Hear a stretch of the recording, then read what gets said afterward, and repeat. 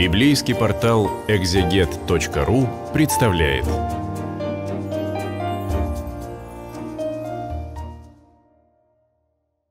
Здравствуйте, братья и сестры, все любящие чтение Слова Божия. Продолжаем с вами исследование послания апостола Павла к Коринфянам на библейском интернет-портале exeget.ru. И сегодня мы с вами рассмотрим пятую главу. Есть верный слух, что у вас появилось блудодеяние, и притом такое блудодеяние, которого не слышно даже у язычников, что некто вместо жены имеет жену отца своего. И вы возгордились вместо того, чтобы лучше плакать, дабы изъят был из среды вас, сделавший такое дело. Видим, что апостол Павел постепенно подходил к этому вопросу, который действительно такой порог страшный, что, как это сегодня называют в современном мире, инцест, который был здесь, или как это называется точно, я не могу сказать, но страшное блудодеяние, когда человек э, имел жену отца своего, то есть мачеху. Э, видим, что не случайно Здесь апостол Павел, 4 глава, э, заканчивается тем, что он говорит, приду к вам с палкой или с любовью. Ну, действительно, под такое дело может быть этот жезл, как он здесь называется в переводе, а палка была бы даже и полезна. Итак, то есть строгость. Апостол теперь начинает обличать и говорит о том, как это так. Даже, говорит, у язычников такого не слышно.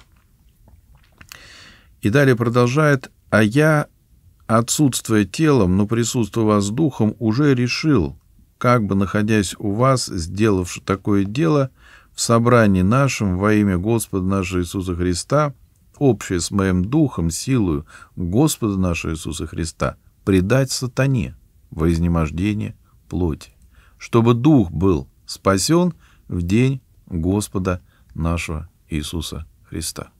Видим, что здесь, в общем-то, звучит некий такой приговор – апостола Павла, дабы пресечь это преступление.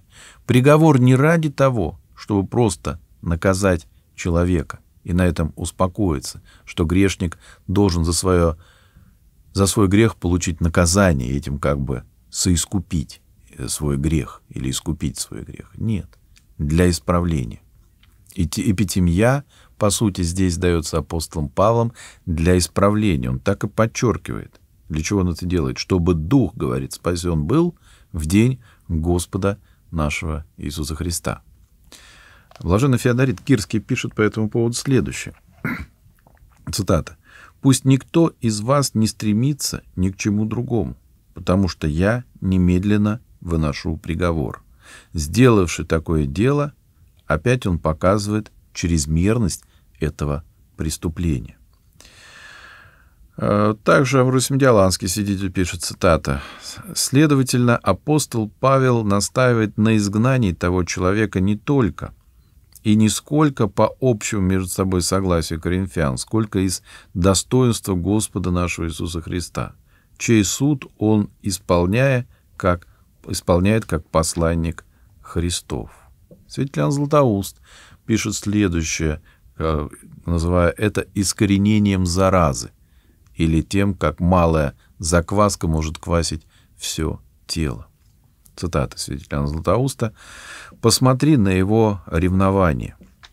Он не позволяет дожидаться своего прибытия, чтобы по прибытию наказать кровосмесителя, но, словно бы, желая искоренить некую заразу, прежде чем она проникнет во все тело, старается обуздать его. Конец стать. То есть он говорит, предать его сатане.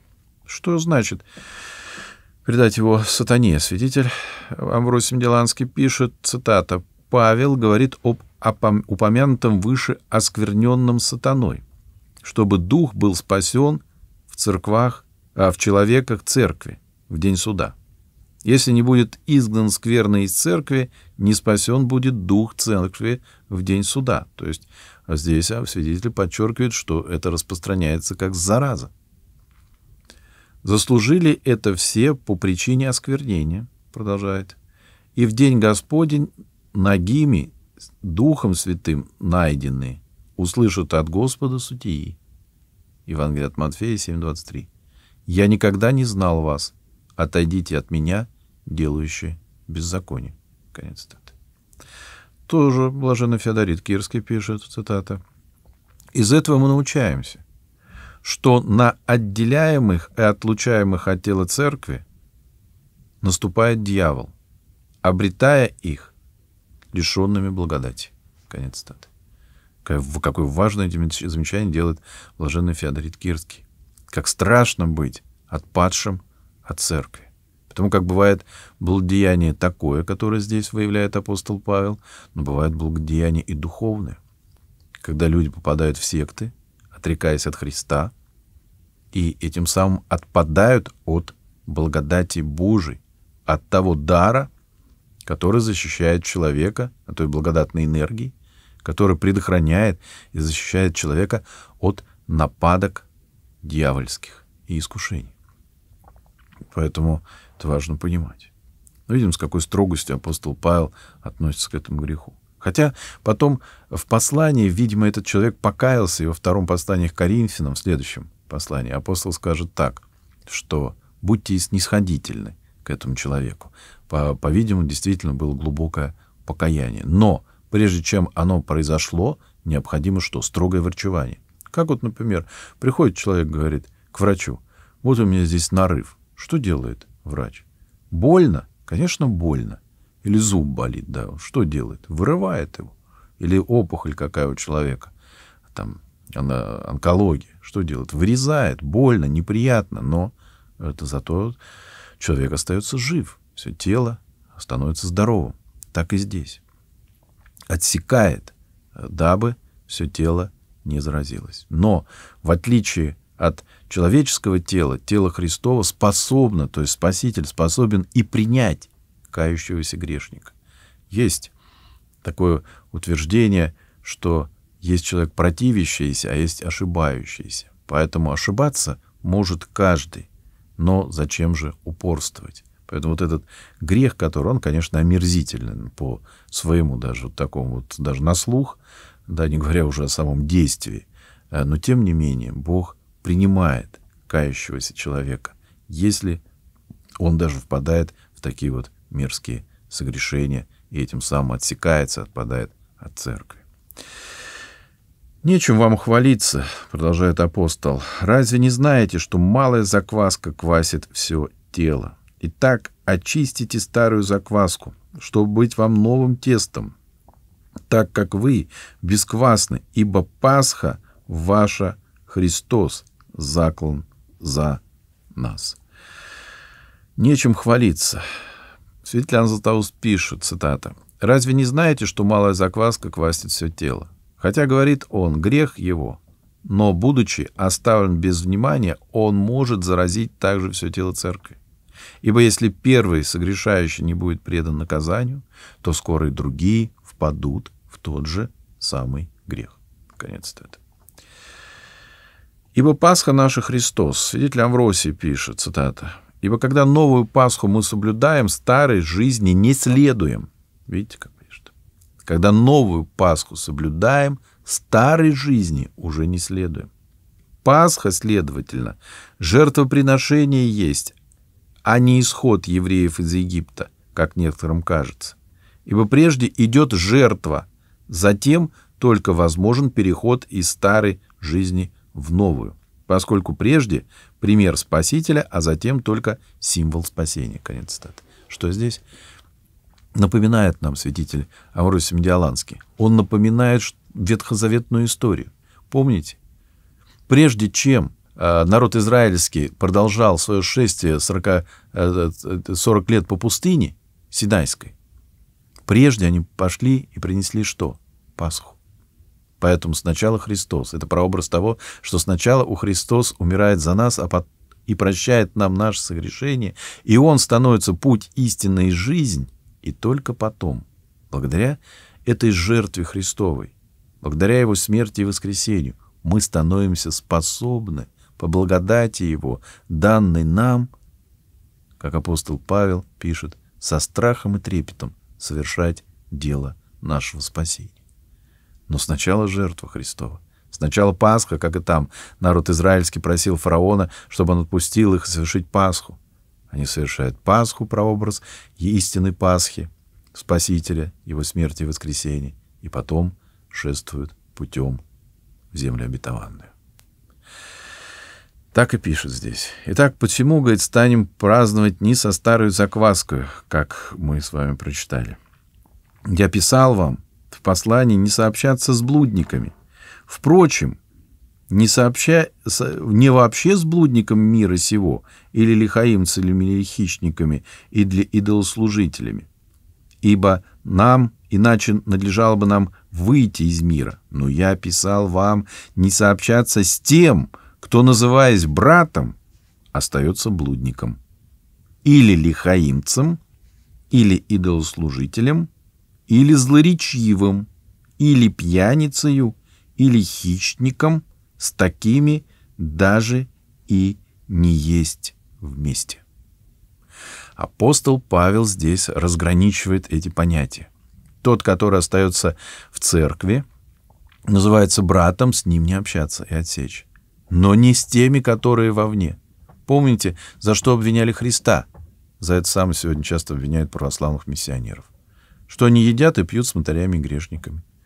А миссионеру как миссионерствовать, если он не пойдет в этот мир, который действительно э, не всегда его принимает, но если принимает, миссионер видит, что можно здесь проповедовать Слово Божие и с этим человеком общаться ради проповеди и ради того, чтобы посеять в нем семя, спасительного, духовной благодати, конечно, это общение не исключается. Так и здесь апостол пишет и утверждает эту мысль. Говорит, не с этими, не с внешними. Для них и Христос пришел, как сказано, Христос пришел не для праведников, а для грешников, чтобы призвать их к покаянию. Поэтому никто, кто не хочет общаться с грешниками, пусть не читает Псалтирь Давида. Почему? потому что Давид пишет «Помилуй меня, Боже, по велицей милости Твоей». И по множеству он просит милости, милости у Бога. Почему? Известная история. Давид согрешал. И дважды. И страшными грехами. И прелюбодеянием, и убийством, в общем-то.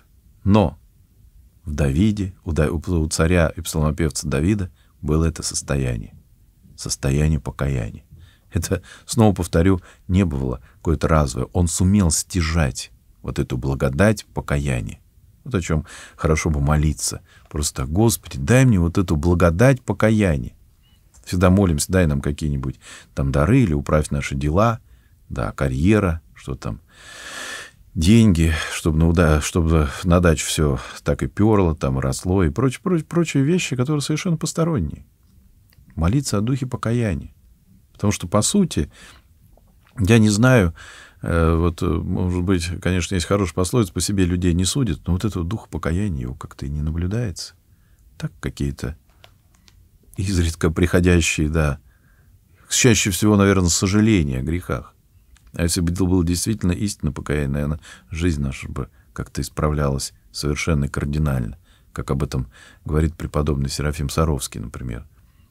Когда у него спросили, а, батюшка, а почему так много, как так мало монашествующих людей, которые действительно принимают решение служить Богу, отречься от мира? Преподобный ответил, нет решимости в людях. То есть решимость это и есть состояние покаяния, один из таких э, составляющих этого состояния это решимость. Решимость отвергнуться прежнего своего образа жизни и прилепиться к Христу всем своим существом, умом и жизнью так и пишет. Не то, чтобы не сообщаться с этим миром. С ними да, но ради чего? Как он скажет в другом послании, помните? Для всех я сделался всем. Для иудеев, как иудеи, послание к римлянам. Для э, беззаконных, как беззаконный. Сам, впрочем, не чужд закона. Для всех я сделался всем, дабы спасти хотя бы некоторых. Поэтому апостол здесь утверждает эту мысль не то, чтобы от, от этих блудников, не те, которые внешние, но внутренние. Он как бы здесь говорит, что блудник должен быть отлучен, суд над внешними и внутренними. То есть внешних судит Бог, а внутренних дана нам власть. Он об этом и дальше еще скажет и пристыдит Коринфян, что они обращаются за судом к людям внешним. Это будет в следующей главе. К внешним, а не к святым. То есть не к людям, которые способны по благодати Божией рассудить людей. Ибо я написал вам не сообщаться ни с теми, снова повторяем эту мысль, называясь братом, остается блудником или хаимством. Ибо кто мне, и далее 12 стих, ибо что мне судить и внешних? Видите? Ибо что мне судить внешних? Не внутренних ли вы судите? Внешних судит Бог. И здесь он говорит, что сделать с этим человеком, дабы зараза не распространилась внутри церкви. Итак, извергните развращенного из среды вас. Вот о чем. Замечает здесь, между прочим, свидетель Иоанн Златоуст, когда апостол говорит о том, что с таким даже не есть, а или Блаженный Федорит Кирский, кто-то из них, говорит, он здесь говорит не только о трапезе обычной, но и о трапезе Христовой. Что человек, который впал, впал в такое мерзкое согрешение, с ним, говорит, даже не участвовать в трапезе Христовой, то есть не причащаться. Это на самом деле действительно такое указание. Мы видим, что он пишет это для руководителей Каримской общины. Это указание для пастырей, которые способны по благодати Божией да, э, таких людей наставлять, а если нужно, и какое-то время давать эпидемию и отсекать, отсекать и не нарушать этого правила, не допускать до причастия. Но здесь, в общем-то, конечно, все на усмотрение э, священнослужителя, ибо он знает тайны, эти тайны, которые раскрываются человеком, приходящим на таинство исповеди. Совсем другое с людьми, которые отпадают э, грех, грехами, э, блуд, блудными грехами, отпадая в какие-то еретические или сектантские сообщества. Там это тоже не врачуется просто исповедью. Человек отпадает от Христа. Есть грех в церкви, внутри церкви есть вот такие омерзительные грехи, когда человек на какое-то время отлучается, как блудник, но есть еще и блуд духовный, когда человек сам по своей воле отпадает от церкви. И в этом случае человек э, восстанавливается в общении со Христом через тоже определенная ему там реабилитация, которая есть, определенная подготовка, есть такой вот чин присоединения, о котором я неоднократно уже говорил, что в Москве по благословению Святейшего Патриарха создана комиссия по реабилитации людей, отпавших от православия, где люди, отпавшие вот такой духовный блуд, они проходят реабилитацию, там кто два, кто три месяца, кто полгода, и потом уже Пройдя ее, пишут прошение и воссоединяются э, с церковью, если они были ранее крещены и от нее отпали. Поэтому апостол здесь снова и снова, если повторить содержание всей этой главы, оно, в общем-то, кратко. То есть блудник должен быть отлучен, а суд над внешними — это дело Божие. Наше дело в большей мере наблюдать за своей павствой, за своими крещенными, дабы они соблюдали чистоту православного исповедания и держались крепко веры православной.